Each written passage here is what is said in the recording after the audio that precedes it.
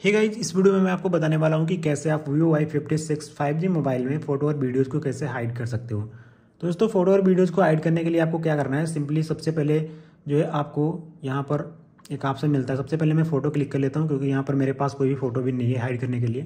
तो अभी photo click हो चुकी है। तो दोस्तों, आपको हाइड करना सिंपल है। आपके मोबाइल में जो ये एप्लीकेशन होती है, जिसका नाम है फाइल्स ये आपके मोबाइल में ज़रूर होती है। ये पहले से आती है।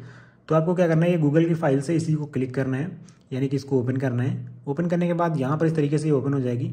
अभी आपको नीचे की तरफ़ आना है, यहाँ पर ऑप्शन मिल रहा है सेव फोल्डर देख पा रहे हो सेव फोल्डर पे आपको क्लिक करना है।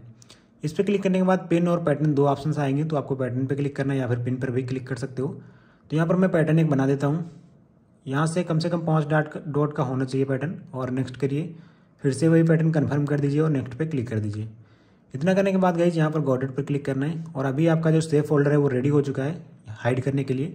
तो अब आपको बैक जाना है। अब यहाँ पर आपको इमेजेस वीडियोस दिख रहे हैं। तो इमेजेस पे क्लिक करना है, यानी कि फ़ोटो हाइड करना है तो फ़ोटो पे जाना है।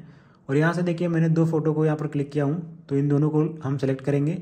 और यहाँ से ऊपर थ्री डॉट जो दिख रहे हैं, इस पर क्लिक करके यहाँ पर मूव टू सेफ़ फोल्डर का ऑप्शन दिख रहा है, इस पर क्लिक करना है।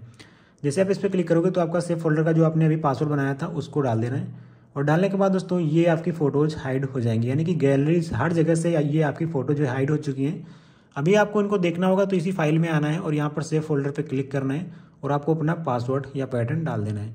उसके बाद देखिए, यहाँ पर वो आपकी फ़ोटो सारी की सारी सो जाएँगी, जो भी आपने हाइड की होंगी। तो इस तरीके से गाइज़ आप यहाँ पर फ़ोटो और वीडियोज़ को हाइड कर सकते हो।